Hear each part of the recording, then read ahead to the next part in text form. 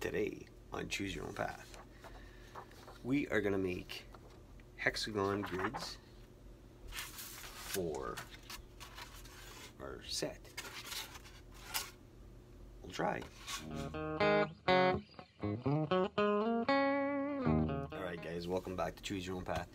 So, um, I had someone contact me through Facebook on one of the D&D groups and uh, they were talking about um, their play sets and what they believe they like to use a hexagon grid. Now we all know the square one inch grid is um, I'm thinking what most of us would be making. So I took a look at um, getting some grids printed up. Um, I took a two inch grid, which when you measure them, it's from corner to corner, right? Though that would take up quite a bit of space and it just looks a bit too big. Now if you've got a, a character miniature, it usually has a one inch base around it. So roughly something like this. Now it looks good to go on top, though it's still way too big. So from there, I figured that would be too big. So then I went to the one inch grid, which is again measured from corner to a corner. The thing with that is, again, one inch, you would lose the hex of turning um, which way you're going. I don't really know how people play this, that sort of grid, but it's based on uh, the way your direction and you want to move to the right or left, it counts as one move to turn then to each space, I'm assuming. That didn't work either. So I looked a little bit long, more, and I found a one and a half inch grid, which would be perfect because that gives just enough room for it to go on and it won't uh, lose the edging of the hexagon problem with printing out this is they have a quarter inch gap between each one of them. And if you were to use that on any kind of board you would use a lot of space. So what we're going to do first is take out our grids. I printed about four of them and they're all the same. So what I'm going to do first of all I'm going to cut them all out I know it seems like a long process, but I'm going to cut them all out. And then I'm going to push them together and then, then sort of uh, tape them on the back. And then we will sort of trace that on our styrofoam and then we'll kind of engrave it in with either uh, a pen or maybe even use the burner. So we'll start off by just, as they're all lined up, we can cut them all at once. So we're just going to cut on the lines and get rid of get rid of the excess which shouldn't be too difficult to do. Which is nice is we're doing them all at once. Um, which means that we can get we don't have to do one at a time right? That makes sense. This is something new and um, definitely something different. So I will continue cutting out all these grids. I'll get back to you. All right. So what we, I did next was I took all the hexagons and I cut them. I cut them out. All right. So what I had to do was make the pattern so it would fit on the styrofoam. So I had to cut each piece out. And then what I did was I glued it to the back of just a normal piece of paper so that they would all, they wouldn't have gaps in them. Now, the difference between how you set up your hexagon that I think is uh, the way it's horizontal or vertical, uh, meaning that if you go, if you're playing on a surface that's facing a certain way, the movement is different, right? So, I don't know. That's just what I read. so, next thing we're going to do is take our piece and we're just going to place it on um, the styrofoam and we're just trying to level it, getting it even on there best as we can. So lining up one end and folding the other. And then what I'm going to do is I'm going to just take some tape and I'm just going to tape down pieces so it can stay where it's not going to move. Having it even, even all the way through, like so. Getting all, all the edges around.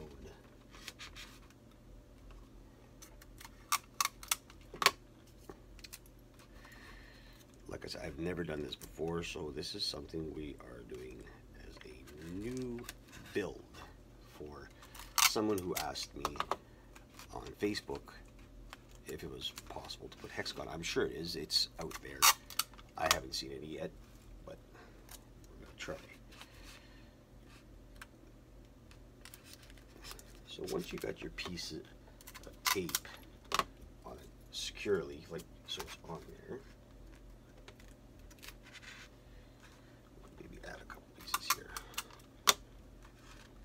Just so it stays on. Alright, so it's on there.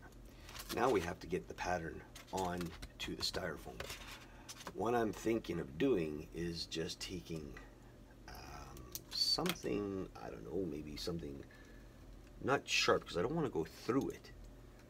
Maybe a pencil. And just by pressing down hard enough and following the lines should allow me to see an indentation inside of the grid. I'm not sure if this is going to work, but we'll try a couple of pieces to see what it looks like. And then we'll kind of lift it up.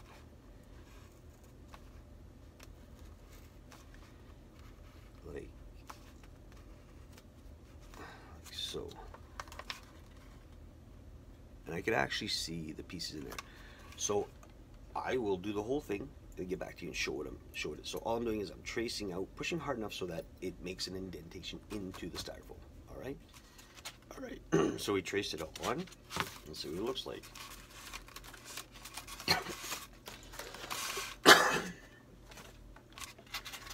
so what we have now is our octagon piece. So what I'm thinking to do now is to maybe to get this to look so we can see it is to take our uh, burner.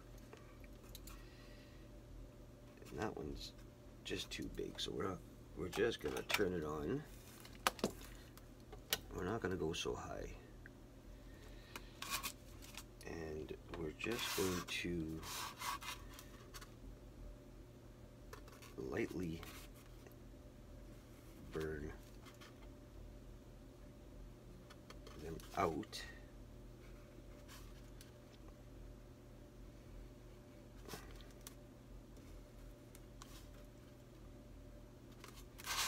So we could see the hexagons.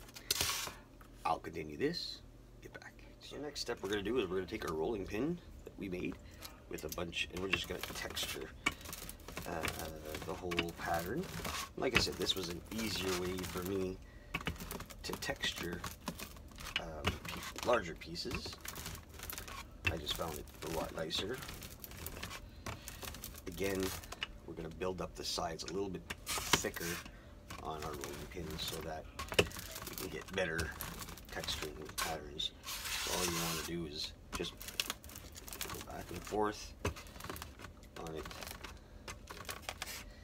the sides just to get rid of those. I don't know. It just it makes it look nicer, I think. now, oh, there goes our thing. Now, one of the things I notice is because it's an octagon right?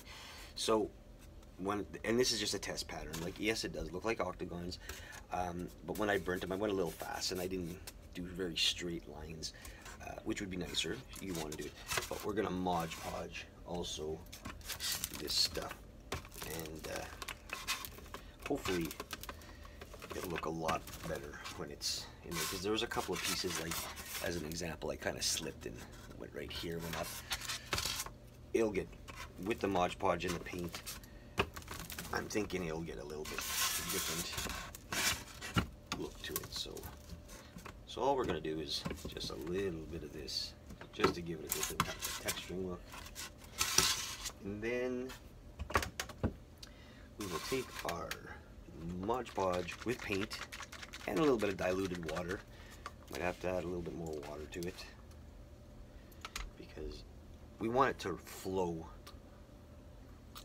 flow through the cracks also but also have enough the Mod Podge so it could harden up our piece. Give it a good little shaking and then just find a big enough brush and we're just going to get it into all the little cracks and corners.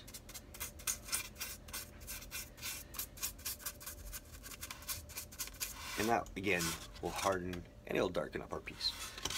I'll continue with this and I'll show you when it's done. All right. So once you have added your Mod Podge to it, you can see that it's gotten a look to it.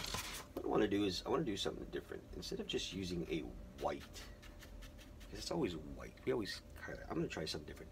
I got my fan brush here. I added a white and a yellow and some glue uh, to this with, of course, some water mix. And what we're going to do is we're just going to hit the tops, sort of like dry brushing it on there, getting some color to it so that we can see maybe a different look. Because everybody always puts like a white or a gray or a black on their things. I don't know. I wanted to try something different. So I'm just going to hit the sides, sort of give it that off look. See what it looks like I think that's best thing to do. Plus it gets, it gives it a different kind of texturing look. But you don't want it on there too thick. Noticeable, but not standing out noticeable. So just kind of wipe it down. It's time for a new one.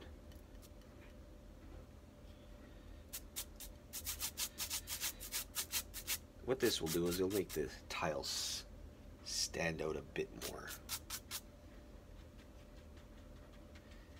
And then having, adding the glue also to our mixture will harden up our piece. So we're just fanning it on, going every way. Like so. So you can see it has brightened it up. Doesn't make it so dingy dark all the time.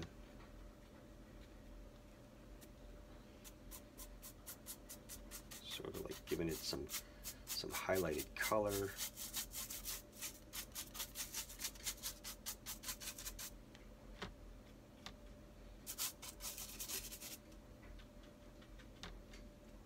go from there. We don't want to put too much on our paintbrush so that it just looks like we're globbing it on it. You're sort of rubbing it in. Because there are some darker spots with the Mod Podge that kind of, it just happens, right? Not the best wash maker when it comes up to this. It looks like a beehive.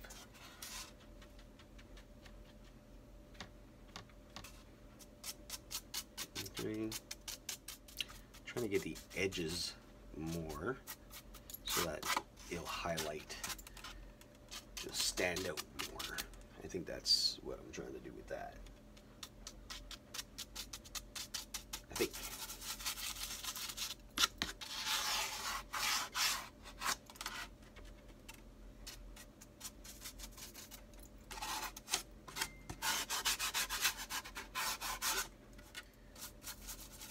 we're going to let this set and dry for a little bit. Um, I think one of the things for the build next time, if this is asked for to do again, is to do better octagon squares. Very, you know, as you can see, you can see some of them don't look very octagonal. is that a word? But they do have that look of what you're playing on. Some of them are too small. You know, I, I was just playing around to see what it would look like as a grid. Um, you know, something different. I just wanted to see if this what it would do. Now, bottom line is the gameplay is very simple. The person who's using the characters can actually have it so that the movement is turning and whatever the squares or the octagons represent, either a foot, 10 feet, a thousand feet, whatever it is, that's what they can have on it. We can build the design around it if we want, sort of both double kind of playing one to the other. I don't know. I think it works. I'm not sure. I mean, you could add any kind of, you know, pieces to your octagon sets to make them look good. I mean, you could add monsters if you want. Whatever you feel like doing. Let me know what you think. Would it be something different? It's a lot more work to do the hectagon than it is to do the one inch squares. Not that much, but it is a lot more work because doing out the pattern and, and trying to figure out how to cut them in and make them proper. I did the burning part, like I said, did it kind of fast. I just wanted to show you that it's very possible that it's there. So, you know, looks pretty cool. Looks like it would work. I'm not sure if this is what that person was asking me to do um, in the sense of how would it work in the gameplay. I'm thinking, hell, you know what? Anything's possible. You just gotta add your characters in it and go from there. What do we say? If I could do it, you can do it. Well, I just did it. Thanks for watching, guys. Choose your own path. I'll let the link down. I always put a link from the tip jar if you guys want to help donate to the channel. It's just something out there to ask. Um, stay tuned for something that's coming. Something's coming to this guy. I'm going to tell you shit, though. I ain't to tell you yet. You guys have to wait. When it's here, I'll post a video of it so you guys can see. Anyway, be safe. Don't be sick or don't get sick. Um, do stuff like this. It's great. It's fun. Choose your own path, guys. Thanks for watching.